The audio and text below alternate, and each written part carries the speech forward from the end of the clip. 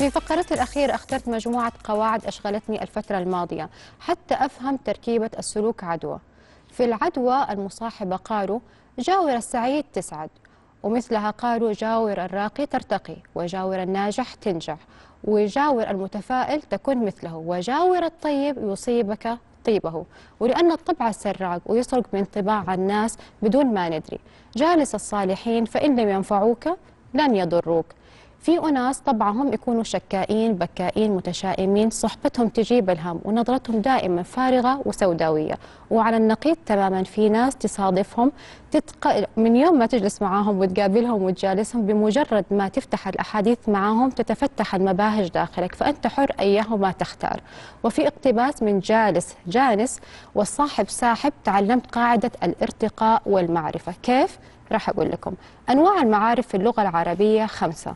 الضمير واسم الإشارة وأشياء كثير ومن ضمنها المضاف إلى المعرفة يعرف. إذا إضافة النكرة إلى المعرفة تكسبه تعريفا فأحرص على الصحبة المع... أو أحرص على صحبة المعروفين بعلمهم وحسن سريرتهم وثراءهم وثراء ألسنتهم وعقولهم ولا تضيف لنفسك قرين السوء. لن يفيدك قرين السوء إلا سوءا آخر. ختاما أستشهد بهذا البيت الجميل عليك بأرباب الصدور أصحاب المعالي فمن غدا مضافا لأرباب الصدور تصدر وإياك أن ترضى بصحبة ناقص فتنحط قدر من علاك وتحقر. خلاصة القول انتقي خليلك حبيبك جليسك كتابك والطبع يغلب التطبع. في أمان الله.